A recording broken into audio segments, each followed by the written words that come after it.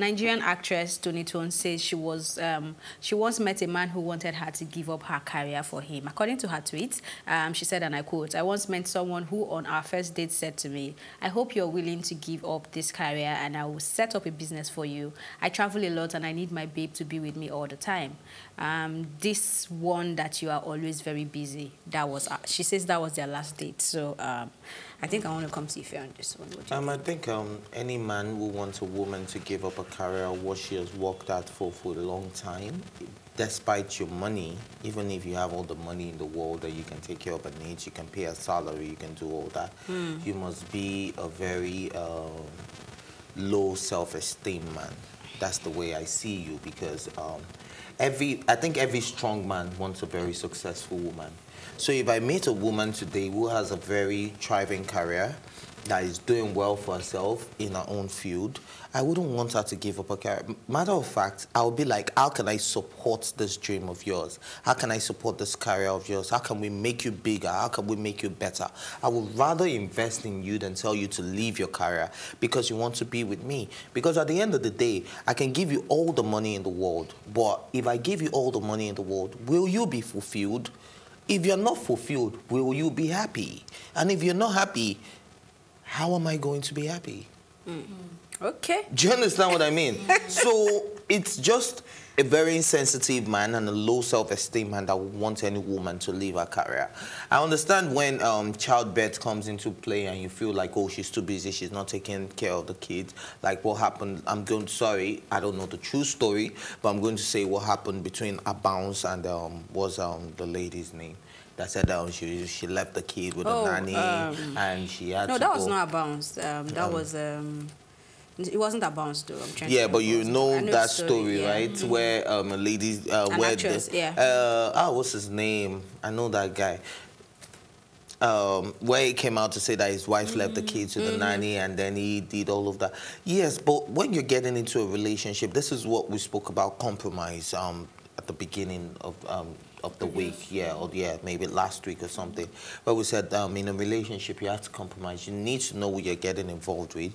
You need to know exactly what they do. You need to know how their time schedules are, so that. Sorry, Phil, let me jump in there because what you're talking about now is exactly what I wanted to say. I think the problem here is um, people going for what is not what they don't want.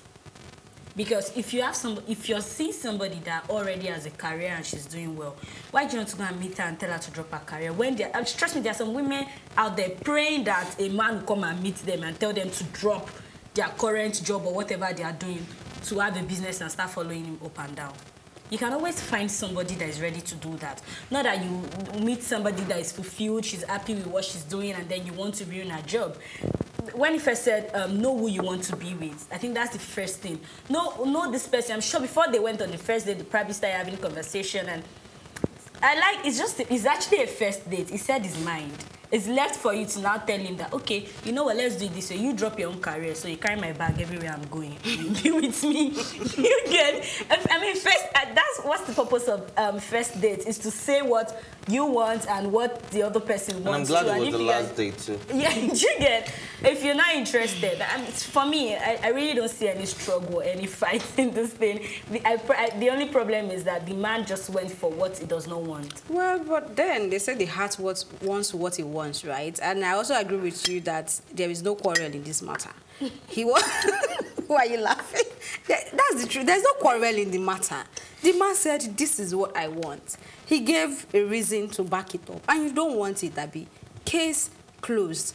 And it's good that she knows what she wants and he knows what he wants and they realize at that point that they do not align. I don't think, I would not agree that he has low self-esteem mm. because if he has low self-esteem, he probably won't be able to even come to the table to have that conversation, I think. So I feel like, yes, there are so many ladies that would be jump on that. I mean, there are even ladies that already have a career and they're at that point where they feel like, okay, I think I'm exhausted. I just want to be a baby girl for a while. even yes, for a while, right? And if that comes on the table also, it's okay, right? So I feel like um, the bashing this man is getting is just too much. Like, he was clear. He said he wants to be able to travel around with the person he was going to be with. And I, if he had gone a step further to start saying, oh, you are this, you are that because you couldn't leave your job, then maybe there would be a problem. So I like that they are both matured. I don't know if bringing it to Twitter, I mean, this has um, No, started a lot of just telling conversation. her own story and people just took it out of.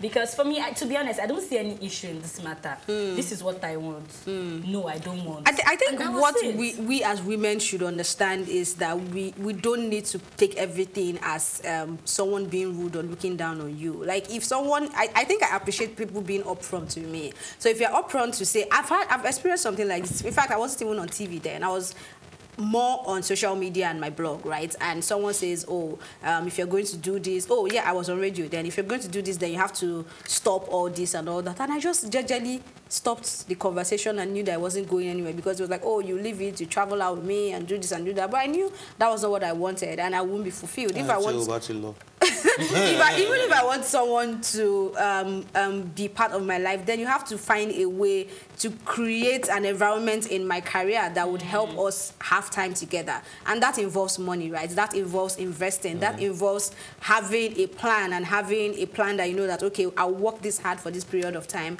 And after this period of time, I'll be able to have set up a system that would allow me do whatever I want to do when I want to do it, right? It doesn't mean that I'm going to be jobless for the whole 12 months. You so, know, you know why I refer to men like that as being um, low self-esteem, man? Because they want to actually be in control of everything. They want you to trap.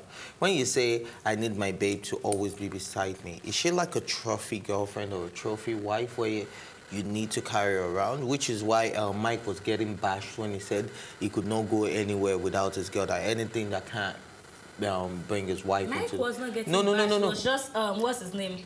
One, what's his name of this um, AY's younger brother? Yomi Casual. Yomi yeah, he was the one getting bashed Yeah, it was for even the one. problem with. Yeah, yeah, but I'm saying that okay, someone like Mike now Mm-hmm. says his wife has to, but you won't see him tell his wife that you need to leave your career because I need you to always go with We me. don't know if they so have I think I think uh, all relationship has got their own peculiarity and what works for them. So if you want somebody that wants to follow you up and down, like Ewa said, look for a person that is ready to do that. There are people that are ready. Yeah, to That be is the life that they but want. But the heart's what, what it wants. Which is what I'm saying. They have the right to come to you and say, "This is what I want." If you're on page, fine. If you're not, don't take it like they are putting you down or they want to ruin your life. I think, I especially like on the only- Twitter, I- I people like- are I like- always I- coming from that I angle, like, what she- men I want like to ruin she, their life. Um, con- undo their own issue. I'm not interested, and that was it. Yeah, and Not that was the last day. Yeah, if you're not interested, it's fine. You It's very fine. But a lot of really a lot of advise women, I think um, another problem is a lot of women will lead such a guy on and be like, okay, I'll think about it, and then just just because of what they're trying to get at the moment, Mm-hmm. and then when that guy now gets forceful, you now come out and say, oh, look at what happened, and then you bring out the soul.